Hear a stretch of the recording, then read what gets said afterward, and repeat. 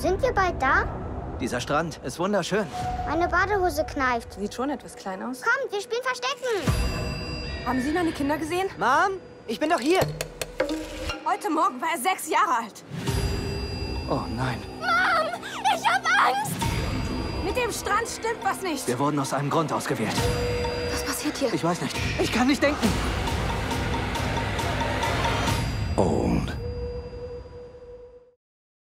Ich finde, da habe ich grundsätzlich Lust drauf, weil M. Night Shyamalan auch immer bedeuten kann, dass das Ganze eine sehr interessante Twisty-Nummer wird. Und damit war es das erste Bewegtmaterial zu Old, den uns Universal Pictures voraussichtlich ab dem 22. Juli in die deutschen Kinos bringen wird. Ein Mix aus Horror, Thriller und Fantasy. Das passt eben auch zu diesem Regisseur. Und die leicht verstörende Musik, die eingesetzt wird. Und die Frage, was ist mit diesem Strand? Erzählt wird die Geschichte einer Familie und einem Familienurlaub auf einer tropischen Insel und ein Strand, an dem eine junge, die, die Leiche einer jungen Frau gefunden wird und die Familie feststellt, dass sie wahnsinnig schnell altert.